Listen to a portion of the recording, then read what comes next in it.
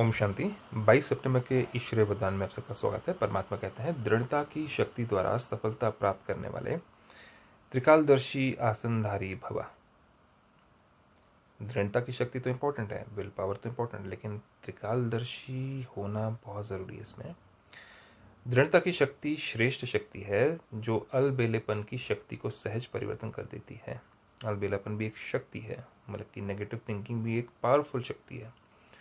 तो या तो आप कहते हैं ना इंटीजर्स के ज़ीरो के आप या तो minus two one S minus three one S four minus five की साइड में हो negative thinking negative thinking negative या तो फिर आप पॉजिटिव इंटीजर्स की साइड में हो, है ना?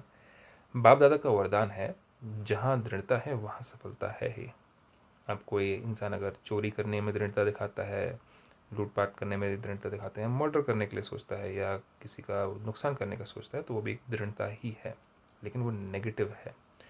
सिर्फ़ जैसा समय वैसी विधि से सिद्धि स्वरूप बनो।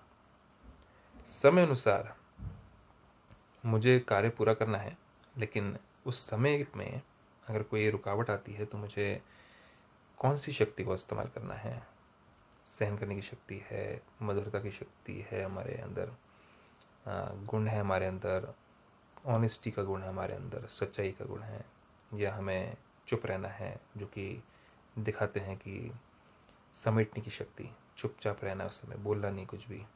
तो कौन सी शक्ति है, कौन सी सिद्धि को इस्तेमाल करना है, वो समय अनुसार होता है। कोई भी कर्म करने से पहले उसके आदि, मध्य, अंत को सोच समझ कर कार्य करो। कोई भी हम जब कर्म करते हैं, उसका आदि, मध्य, अंत, इस समय आपने उसके बारे में सोचा कि मुझे ये कर्म करना है, उसका असर क्या होगा फ्यूचर में जा कर के? सिर्फ़ फ्यूचर में इस जन्म के लिए ही नहीं, हमें इतना भी सोचना है स्पिरिचुअलिटी सिखाती है कि उसका सत्युग त्रेता द्वापर कलयुग में क्या असर पड़ेगा। क्योंकि जिस आत्मा के साथ में मैं कर्म कर रही हूँ आत्मा, उसका मेरे साथ में किस युग में संबंध सुधरेगा या अच्छा रहेगा या बिगड़ेगा? क्योंकि आज जो मैं करूँगी आत्मा, उसका असर मेरे को उस आत्मा के साथ में अगले जन्मों में भी फेस करना पड़ेगा। ये इसलिए बहुत ध्यान देना पड़ता है। हम सोचते हैं कि इसी जन्म का है, इसी जन्म में हो जाएगा। नहीं, अगर हमने कल सांस छोड़ दी, शरीर छोड़ दिया तो वो फिर पूरे पाँच हज़ार वर्ष के साइकिल में नूंद हो गया कि वो आत्मा के साथ में अगर मेरा संबंध बिगड़ा है तो वो आत्मा मुझे कहीं ना कहीं ढूंढेगी, किसी न किसी युग में मेरे पास में, आसपास आकर के मेरे से वो फिर हिसाब किताब छुट्टू करेगी। तो इसलिए आगे पीछे देख करके बोलो बोलते हैं ना तो इसी तरह से प्रमाण करते हैं, आदि मध्य अंत को सोच करके। आदि सत्युग, मध्य हमारा द्वापर युग अंत कलयुग, कि मुझे पूरे साइकिल में इस आत्मा के साथ में कैसे संबंध चाहिए?